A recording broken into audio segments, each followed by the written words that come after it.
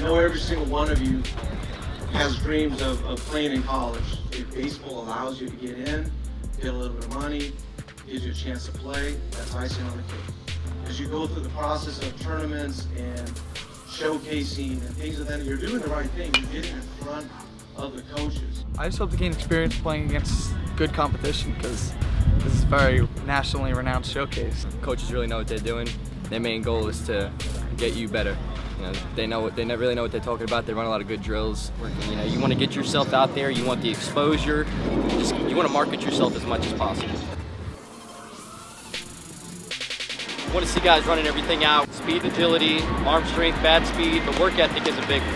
I think it's a great opportunity for them. Uh, just kind of see where they're at as far as their abilities and you know, what they need to work on.